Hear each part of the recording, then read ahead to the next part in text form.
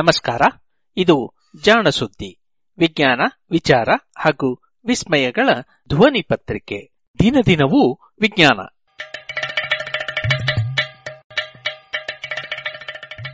ಸಂಪುಟ ಮೂರು, ಪುಟ ಐವತ್ತಾರು. ನವೆಂಬರ್ ಹದಿನೇಳು, ಎರಡು ಸಾವಿರದ ಹತ್ತೊಂಬತ್ತು. ಕಥಾ ಸಮಯ.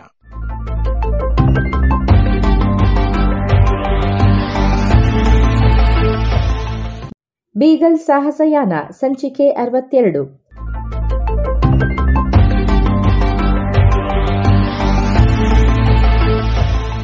ಈ ಕಾದಾಟದ ವೇಳೆಯಲ್ಲಿ ಸೆರೆ ಹಿಡಿದ ಇಬ್ಬರು ಹುಡುಗಿಯರು ಸುಂದರ ಸ್ಪೇನಿಯರಾಗಿದ್ದರು. ಚಿಕ್ಕವರಿದ್ದಾಗಲೇ ರೆಡ್ ಇಂಡಿಯನ್ನರು ಕದ್ದೊಯ್ದಿದ್ದರಾದ್ದರಿಂದ ಇವರಿಗೆ ಇಂಡಿಯನ್ನರ ಭಾಷೆಯಷ್ಟೇ ಗೊತ್ತಿತ್ತು. ಅವರ ಮಾತುಗಳನ್ನು ಕೇಳಿದಾಗ ಅವರು, ಇಲ್ಲಿಂದ ನೇರವಾಗಿ ಒಂದು ಸಾವಿರ ಮೈಲು ದೂರವಿರುವ ಸಾಲ್ಟಾದವರಿರಬೇಕು ಎನಿಸಿತು.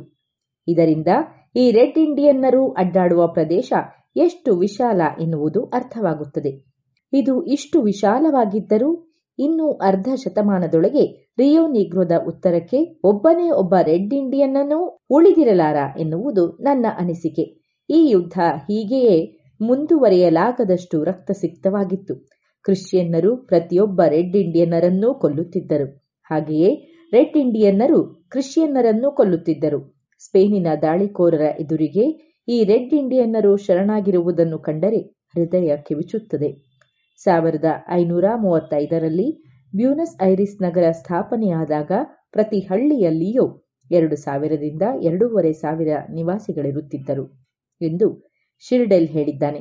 ಸಾವಿರದ ಏಳ್ನೂರ ಐವತ್ತರಲ್ಲಿ ಅಂದರೆ ಫಾಲ್ಕನರನ ಕಾಲದಲ್ಲಿಯೂ ರೆಡ್ ಇಂಡಿಯನ್ನರು ಲುಕ್ಸಾನ್, ಅರೆಕೋ ಮತ್ತು ಅರೆಸಿಫೆಯವರೆಗೂ ಹರಡಿಕೊಂಡಿದ್ದರು.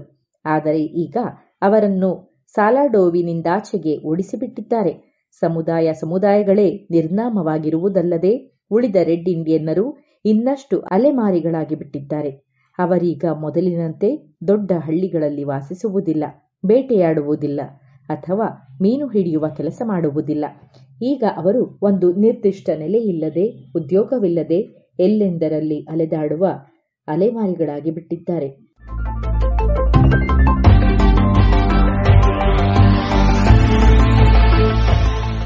ನಾನೀಗ ವಿವರಿಸಿದುದಕ್ಕಿಂತಲೂ ಕೆಲವು ವಾರಗಳ ಮೊದಲು ಕೊಲೆ ಶೈಲಿನಲ್ಲಿ ನಡೆದ ಮತ್ತೊಂದು ಕಾದಾಟದ ಬಗ್ಗೆ ಅಲ್ಪ ಸ್ವಲ್ಪ ವಿವರಗಳನ್ನು ಕೇಳಿದೆ. ಇದು ಕುದುರೆಗಳು ಸಾಗುವ ಮಾರ್ಗದಲ್ಲಿರುವ ಒಂದು ಮುಖ್ಯ ಕಣಿವೆ. ಹೀಗಾಗಿ ಕೆಲವು ಸಮಯದಿಂದ ಇದು ಸೈನ್ಯದ ಒಂದು ತುಕಡಿಯ ಕೇಂದ್ರ ಸ್ಥಾನವಾಗಿತ್ತು ನಮ್ಮ ಸೇನೆ ಅಲ್ಲಿಗೆ ತಲುಪಿದಾಗ ಅಲ್ಲೊಂದು ರೆಡ್ ಇಂಡಿಯನ್ನರ ತಂಡ ಇರುವುದನ್ನು ಕಂಡರು. ಇವರಲ್ಲಿ ಇಪ್ಪತ್ತು ಮೂವತ್ತು ಮಂದಿಯನ್ನು ಸೇನೆ ಕೊಂದಿತು. ಅವರ ಮುಖಂಡನು ಅಲ್ಲಿಂದ ತಪ್ಪಿಸಿಕೊಂಡ ಬಗ್ಗೆ ಎಲ್ಲರನ್ನೂ ಅಚ್ಚರಿಗೊಳಿಸಿತು. ರೆಡ್ ಇಂಡಿಯನ್ನರ ಮುಖಂಡರುಗಳ ಬಳಿ ಯಾವಾಗಲೂ ಒಂದಕ್ಕಿಂತ ಹೆಚ್ಚು ಆಯ್ದ ಕುದುರೆಗಳಿರುತ್ತವೆ. ಇವನ್ನು ಸದಾ ಅಣಿಯಾಗಿಯೇ ಇಟ್ಟಿರುತ್ತಾರೆ. ತಂಡದ ಮುಖಂಡನು ಇಂತಹುದೊಂದು ಬಿಳಿಯ ಕುದುರೆಯ ಮೇಲೆ ತನ್ನ ಮಗನನ್ನೂ ಎತ್ತಿಕೊಂಡು ಹಾರಿ ಕುಳಿತನಂತೆ. ಕುದುರೆಗೆ ಜೀನಾಗಲಿ, ಕಡಿವಾಣವಾಗಲಿ ಇರಲಿಲ್ಲ. ಗುಂಡುಗಳಿಂದ ತಪ್ಪಿಸಿಕೊಳ್ಳಲು ರೆಡ್ ಇಂಡಿಯನ್ನರು ಬಳಸುವ ಪದ್ಧತಿಯಂತೆ, ಅಂದರೆ ಕುದುರೆಯ ಕತ್ತಿನ ಸುತ್ತಲೂ ತೋಳು ಬಳಸಿ ಹಿಡಿದುಕೊಂಡು ಒಂದು ಕಾಲನ್ನಷ್ಟೇ ಕುದುರೆಯ ಮೇಲಿರಿಸಿಕೊಂಡು ಕುದುರೆಯೋಡಿಸಿದನಂತೆ. ಹೀಗೆ ಕುದುರೆಯ ಒಂದು ಬದಿಯಲ್ಲಷ್ಟೇ ಜೋತಾಡಿಕೊಂಡು ಒಂದು ಕೈಯಿಂದ ಕುದುರೆಯ ತಲೆ ನೇವರಿಸಿಕೊಂಡು ಅದರ ಜೊತೆ ಮಾತನಾಡಿಕೊಂಡು ಸವಾರಿ ಮಾಡಿದನಂತೆ. ಅವನನ್ನು ಅಟ್ಟಿಸಿಕೊಂಡು ಹೋದವರು ತಮ್ಮೆಲ್ಲ ಪ್ರಯತ್ನವನ್ನೂ ಮಾಡಿದರು. ಕಮಾಂಡಂಟನಂತೂ ಮೂರು ಕುದುರೆಗಳನ್ನು ಬದಲಾಯಿಸಿದನಂತೆ. ಆದರೆ ಎಲ್ಲವೂ ವ್ಯರ್ಥವಾಯಿತು. ಆ ಮುದಿಯ ರೆಡ್ ಇಂಡಿಯನ್ ಮತ್ತು ಅವನ ಮಗ ಇಬ್ಬರೂ ಅಲ್ಲಿಂದ ತಪ್ಪಿಸಿಕೊಂಡು ಬಿಟ್ಟರು. ಆಹಾ, ಕಂಚಿನ ಬಣ್ಣದ ಬೆತ್ತಲೆ ಮೈಯಲ್ಲಿ ತನ್ನ ಪುಟ್ಟ ಮಗನನ್ನೂ ಹಿಡಿದುಕೊಂಡು ಬಿಳಿಯ ಕುದುರೆಯ ಮೇಲೆ ಜೋತಾಡುತ್ತಾ ತನ್ನನ್ನು ಅಟ್ಟಿಸಿಕೊಂಡು ಬರುವವರನ್ನು ಹಿಂದೆ ಬಿಟ್ಟು ಆತ ಹೋದ ದೃಶ್ಯವನ್ನು ಕಲ್ಪಿಸಿಕೊಳ್ಳುವುದಕ್ಕೆ ಅದ್ಭುತವಾಗಿದೆ.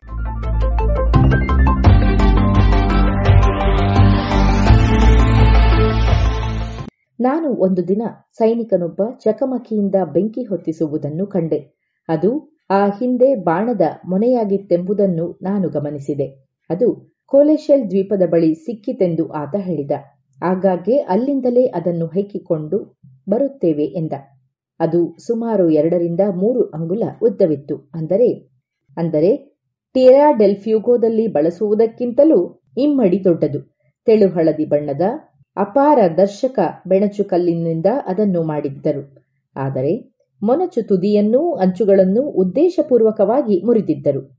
ಈಗ ಪಂಪಾಸಿನಲ್ಲಿರುವ ರೆಡ್ ಇಂಡಿಯನ್ನರು ಬಿಲ್ಲು ಬಾಣಗಳನ್ನು ಉಪಯೋಗಿಸುವುದಿಲ್ಲ ಎನ್ನುವುದು ಎಲ್ಲರಿಗೂ ತಿಳಿದಿದೆ.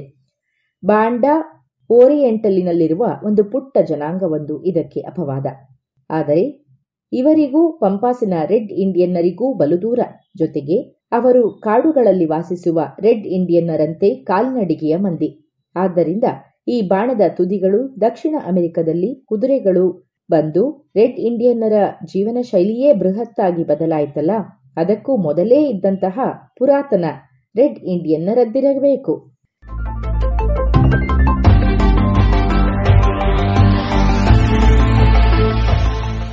ಇದು ಈ ವಾರದ ಕಥಾ ಸಮಯ. ಅನುವಾದ ಕೊಳ್ಳೇಗಾಲ ಶರ್ಮಾ. ಪ್ರಸ್ತುತಿ ಶ್ರೀಮತಿ ಭಾರತಿ.